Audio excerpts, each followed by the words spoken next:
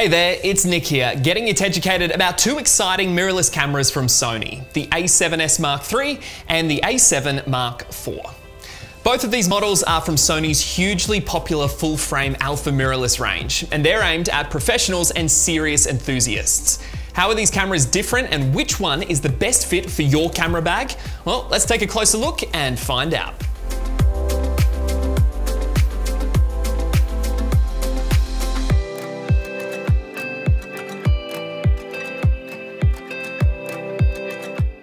Whilst the Sony a7S Mark III features a full frame image sensor, it's designed more for video and so has less resolution than other models in the range, including the a7 Mark IV, with this lowered resolution having the benefit of greater sensitivity and a higher ISO range. Subsequently, this camera is ideal for low light photography and cinematography.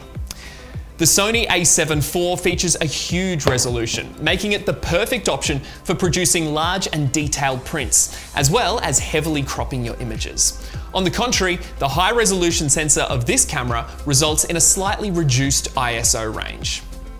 The Sony a7S Mark III is a favourite of video enthusiasts of all levels, from vloggers to those working in more professional environments. This camera can produce 4K 120p videos compared to the 4K 30p of the a7 IV. For slow motion results, the a7S III is your best bet with full HD 240 frames per second video compared to the a7 IV's full HD 120 FPS. While both cameras are viable options for both vlogs and more advanced video works, the a7S III gets the edge with a host of advanced features, including 16-bit RAW external recording. Both of these fantastic cameras are home to the same speedy and accurate autofocus system. Both cameras include real-time tracking and eye autofocus. While the a7 IV adds eye autofocus for humans, animals and birds in both photo and video mode, the a7S III is more limited. Further highlighting itself as the better low light camera, the a7S Mark III has a considerable advantage when focusing in dim conditions. Further similarities that the Sony a7S Mark III and a7 Mark IV share include a 5-axis image stabilization system that reduces camera shake and leaves you free to enjoy great handheld shooting results and a speedy, continuous shooting rate. The speedy shooting rate, as well as premium video recording of the cameras, will produce plenty of large files, and thankfully, both cameras include dual memory card slots.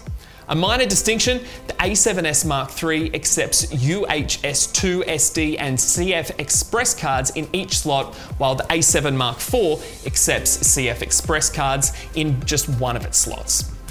As is to be expected of the Sony a7 range of cameras, both the a7S Mark III and the a7 Mark IV are exceptionally portable when considering their powerful performance. The cameras are similar in weight and dimension and have a very similar button layout and design. Both of these multimedia friendly cameras include both an EVF and a multi-angle touch sensitive LCD screen to compose your work in a manner that's suitable for you. While it must be said that the a7S III's EVF and LCD are both of a higher resolution.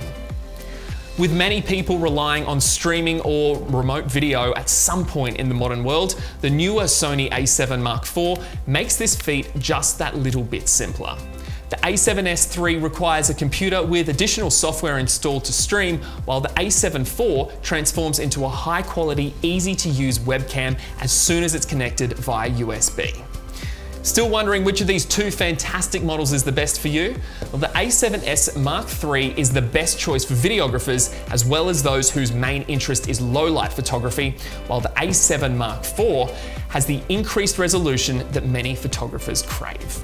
If you want to know more, just head to teds.com.au forward slash blog or keep updated by subscribing to TEDS on YouTube or following TEDS on Instagram at TEDS underscore cameras for all the latest Ted education.